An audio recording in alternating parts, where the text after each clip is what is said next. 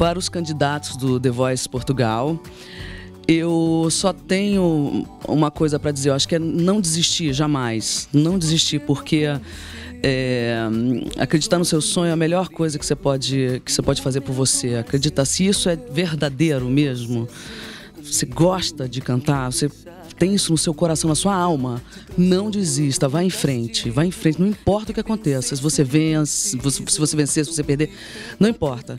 Vá em frente, porque é, eu, eu me recordo durante a minha carreira assim que eu tomei alguns nãos é, coisas não tão felizes aconteceram e eu segui na minha carreira, eu estou aqui dando um conselho para vocês. Então assim, olha, não desista, vá em frente.